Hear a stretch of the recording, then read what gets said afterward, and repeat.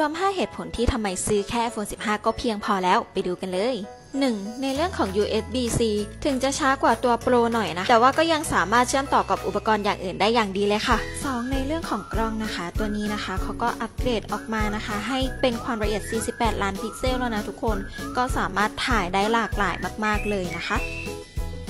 3 ในเรื่องของ Dynamic Island นะคะ บอกเลยว่ารุ่น 15 นะคะ เขาก็ให้ Dynamic Island มาในราคาที่ไม่ถึง 40,000 เลย บอกเลยว่าฟังก์ชันนี้น่ารักปุ๊บปิ๊ดสุดๆ 4 ในเรื่องของชิป A16 Bionic นะคะ บอกเลยว่าประมวลผลได้เร็วมากๆ สามารถเล่นโซเชียลได้อย่างลื่นไหลเลยนะคะ บอกเลยว่าเล่นได้อีกยาวๆเลย 5ในเรื่องของสีนะคะ บอกเลยว่า iPhone 15 Series ปีนี้นะคะทำสีออกมาได้น่ารักละมุนต้นสุดๆ โดยเฉพาะสีชมพูนะคะ บอกเลยว่ามาแรงมากๆ เป็นยังไงกันบ้างคะสำหรับ 5 เหตุผลที่เอามาฝากในวันนี้สำหรับใครที่อยากได้ iPhone 15 เป็นของตัวเองบ้างเนี่ย ก็สามารถจิ้มลิงก์หน้าโปรไฟล์ถักแชทมาได้เลยนะ ใครอยากดูอะไรอีกคอมเมนต์มาได้เลย